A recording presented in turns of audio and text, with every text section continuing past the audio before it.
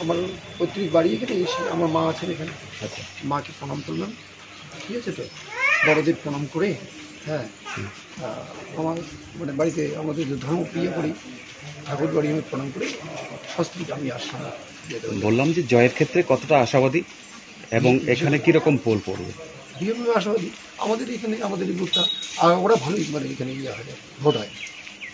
পঞ্চায়েতের পঞ্চায়েতের নিরীক্ষে এবার উপনির্বাচনে নিরাপত্তা কীরকম রয়েছে? ভালোই তো রয়েছে। এখন পর্যন্ত কোনো কিছু গণ্ডগোলের কোনো ইয়ে নেই খবর নেই। আই হোপ দ্যাট সারাদিনে কোনো গণ্ডগোলের খবর হবে না। এখন এখন বুথে অবশ্যই গুরুত্বপূর্ণ। খুব গুরুত্ব অবশ্যই গুরুত্বপূর্ণ। কেন অল ওভার ওয়েস্ট বেঙ্গল একটাই হচ্ছে আহ, মানে আমাদের ধূপগুড়িতে উপনির্বাচন হচ্ছে। এবং বিশেষ করে নর্থ বেঙ্গলের নিরিখে আহ, এই উপনির্বাচনটা সত্যি মানে ভীষণ গুরুত্বপূর্ণ।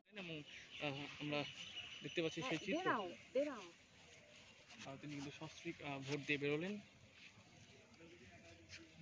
সেই চিত্র সরাসরি দানাতে দানাতে দানাতে লোকপক্ষ ডিজাইনের পর্দায়।